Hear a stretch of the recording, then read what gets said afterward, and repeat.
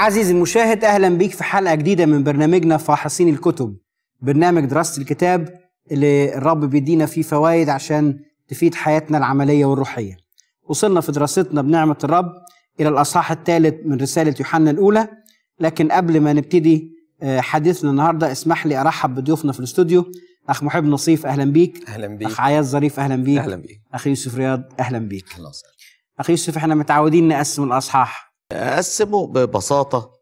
آه، كتابات يوحنا بالذات صعب تقسيمها لأنه بيدخل الأفكار في بعض لكن بصفة عامة من واحد لستة فكرة الرجاء آه، واضحة. آه، إن الرب جاي وهيغير الأجساد وهنشوفه كما هو هذا هو الرجاء المسيحي من عدد سبعة لعدد آه، 12 الفكرة الرئيسية هي البر. ودي واحدة من ضمن علامات اللي اتولد من الله عنده بر.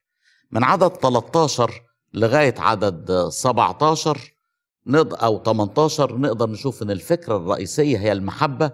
برضو علامة تانية من علامات الولادة من الله فالرجاء البر المحبة. الجزء الأخراني بيتكلم عن الصلاة. آه، واستجابة الصلاة الرب يستجيب الصلاة عندما لا تلومنا قلوبنا. أولاد الله. تعبير ما أسماه. إنه نوع خاص من البنوة. ليس كما يقال عن آدم ابن الله بحق الخلق بل في عصر النعمة الذي نعيشه هذا لها معنى سام جدا. نقرأ وأما كل الذين قبلوه فأعطاهم سلطانا أن يصيروا أولاد الله أي المؤمنون باسمه. لقد امتلك المؤمنون الحقيقيون بالمسيح ذات طبيعة الله أبيهم. هذه الملكية أسماها الكتاب سلطانا ولهذا تهلل يوحنا في رسالته. انظروا أية محبة أعطانا الآب حتى ندعى أولاد الله فمن أجل هذا لا يعرفنا العالم لأنه لا يعرفه. لنسمع هذا الأمر المجيد ثم بما أنكم أبناء أرسل الله روح ابنه إلى قلوبكم صارخا يا ابا الآب. ولنكمل امتيازات الأبناء نقرأ لأن كل الذين ينقادون بروح الله فأولئك هم أبناء الله إذ لم تأخذوا روح العبودية أيضا للخوف بل أخذتم روح التبني الذي به نصرخ يا ابا الآب. الروح نفسه أيضا يشهد لأرواحنا أننا أولاد الله. فإن كنا أولادا فإننا ورثة أيضا ورثة الله ووارثون مع المسيح. إن كنا نتألم معه لكي نتمجد أيضا معه. الأمر الذي يعضده يوحنا بالقول أيها الأحباء الآن نحن أولاد الله ولم يظهر بعد ماذا سنكون. ولكن نعلم أنه إذا أظهر نكون مثله لأننا سنراه كما هو. على أن لهذا الامتياز المسؤولية المقابلة له فكونوا متمثلين بالله كأولاد أحباء. فليضئ نوركم هكذا قدام الناس لكي يروا أعمالكم الحسنة ويمجدوا أباكم الذي في السماوات. بهذا أولاد الله ظاهرون وأولاد إبليس. كل من لا يفعل البر فليس من الله وكذا من لا يحب أخاه.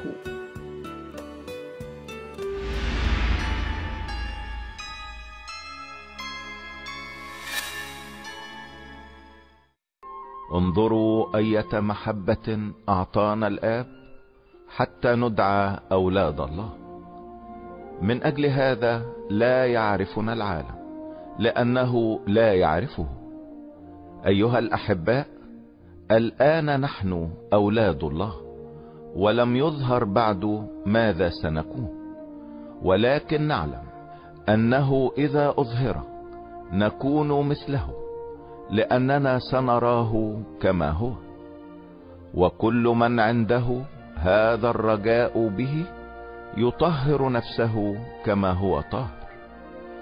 كل من يفعل الخطية يفعل التعدي أيضا والخطية هي التعدي. وتعلمون أن ذاك أظهر لكي يرفع خطايانا وليس فيه خطية. كل من يثبت فيه لا يخطئ كل من يخطئ لم يبصره ولا عرفه. يبقى الجزء الأول عن الرجاء الأعداد الستة الأولى. عياد تدينا فكرة عامة عنه. هو الحقيقة علشان نبتدي أصحاح ثلاثة محتاجين إن إحنا ناخد ال- العدد الأخير من الأصحاح السابق أصحاح اتنين. إن علمتم عدد 29 إن علمتم أنه بار هو فاعلموا أن كل من يصنع البر مولود منه. وبدءا من هذا العدد من عدد 29 والجزء اللي إحنا هنقراه دلوقتي في في أصحاح ثلاثة بيتكلم عن إنه من ضمن العلامات التي تميز المولودين من الله صناعة البر. وعلشان يقول لنا إن في صنع بر ربط لنا ما بين الوالد والمولود منه. فقال لنا إنه الذي يصنع البر مولود من الله وبما إن إن الله بار لابد أن الذي يولد من الله يصنع البر. وحط لنا بقى القاعدة التي نتحرك من خلالها. قال لنا انظروا أية محبة أعطانا الآب حتى ندعى أولاد الله. لما يحط لنا الآية ديت كآية مفتاحية في الأصحاح عايز يقول إحنا مصدرنا منين؟ مصدر أولاد الله هو الله فإحنا بقينا مولودين من الله. ولكوننا مولودين من الله فنحن نعمل الأعمال التي يعملها الله. الله بار والعلامة التي تميز المولودين من الله هي صناعة البر. لكن هنا بيقربنا أكتر للدرجة التي صرنا عليها والقرابة التي صرنا عليها. بيقول من أجل هذا لا يعرفنا العالم لأنه لا يعرفه.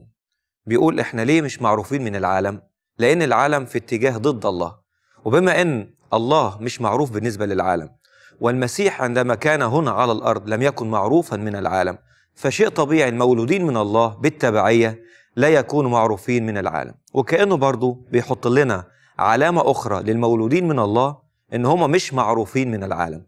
مش بس المولودين من الله يصنعوا البر لأنه مصدرهم الله لكن أيضا المولودين من الله غير معروفين من العالم لأن الوالد الله ما كانش معروف في العالم أو الرب يسوع كمان هنا على الأرض الممثل لله ما كانش معروف آه ما كانش معروف في العالم. أيها الأحباء الآن نحن أولاد الله ولم يظهر بعد ماذا سنكون؟ الآن نحن أولاد الله ونحن في الحاضر متمتعين بدرجة قرابتنا لله لكن لنا أيضا درجة في المستقبل هنكون عليها. مش واضحة دلوقتي لكن هتوضح هتوضح إمتى؟ بحدث سوف يحدث. الآن نحن أولاد الله ولم يظهر بعد ماذا سنكون ولكن نعلم أنه إذا أظهر ودي حاجة مرتبطة بالمسيح كحدث في المستقبل نكون مثله لأننا سنراه كما هو. وهنا بيتكلم عن الرجاء المسيحي. عندما نتقابل مع المسيح عندما يأتي المسيح عندما نكون مثله لأننا سنراه كما هو. وحط لنا حاجة مشجعة علينا كل من عنده هذا الرجاء هذا الرجاء به هذا الرجاء بالمسيح أننا سنكون مثله لأننا سنراه كما هو يطهر نفسه كما هو طاهر. والحقيقة ديت بتحط لنا أساس عظيم جدا أن التفكر في لحظة مجيء المسيح وأننا سنكون مثله حافز ودافع يجعلنا نسير في هذه الحياة في حالة القداسة. نطهر نفوسنا مش كما أن المسيح يطهر نفسه لا كما أن هو كما أن هو طاهر. وهقول حاجة بسيطة جدا تتكلم عن تميز المسيح بقى عندما أتى في الجسد. كل من يفعل آه الخطية يفعل التعدي أيضا والخطيئة هي التعدي وتعلمون أن ذاك أظهر لكي يرفع خطايانا وليس فيه خطيئة. هنا قال لنا المسيح سوف يظهر لكن قال لنا كمان دلوقتي أنه أظهر. عندما قال أنه أظهر في الماضي يتكلم عن ظهوره في الجسد. وهنا بيرد على ادعاءات كثيرة جدا أن المسيح لم يكن له جسد حرفي. لا هنا بيقول أنه كان له جسد حرفي وأتى في الجسد وأظهر في الجسد لكن مع التميز الشديد أنه عندما أتى في الجسد كان جسده خال من أن الخطية. وده تعليم الحياة تعليم مبنى عليه عمل الكفارة. المسيح ظهر في الجسد دي حقيقة. لكن جسد المسيح كان خال من الخطية. وزي ما قلنا في مرة من المرات إنه أو نكرر دلوقتي إنه جسد المسيح الخالي من الخطية. يوحنا يتكلم عن جوهر الأشياء. فطبيعة المسيح الإنسانية الداخلية جوهر الأشياء كانت تخلو من الخطية. بولس يتكلم عن الفكر. المسيح لم يعرف خطية. أما بطرس يتكلم عن الأعمال فقال أن المسيح لم يفعل خطية وما كانش المسيح محتاج أنه يغفر له أي خطايا سابقة ولاحقة فهو كان خال من الخطية وكان كفءا أن يكون هو الكفارة بهذا الخلو من الخطية الأصحاح ده بيبتدي بداية رائعة. آه، أربطه بالأصحاح اللي فات. الأصحاح اللي فات لقينا تدرج في عائلة الله. من أطفال يكبروا يبقوا أحداث يكبروا يبقوا آباء في تطور في نمو ودي سنة الحياة. طالما في حياة يبقى في نمو. لكن هنا أقدر أقول مش تطور لكن طفرة. في العلم في حاجة اسمها تطور وفي حاجة اسمها طفرة. الأصحاح اتنين بيكلمنا عن التطور أصحاح ثلاثة بيكلمنا عن الطفرة. نقلة. تغيير فجائي هيحصل. إمتى هيحصل هذا الكلام؟ لما يجي المسيح. أنا دلوقتي ببتدي طفل في عائلة الله طبعا ملهاش دعوة بالسن لكن ليها علاقة بالعلاقه مع الله. أنا لسه بادئ علاقتي مع الله امبارح فأنا طفل في الإيمان.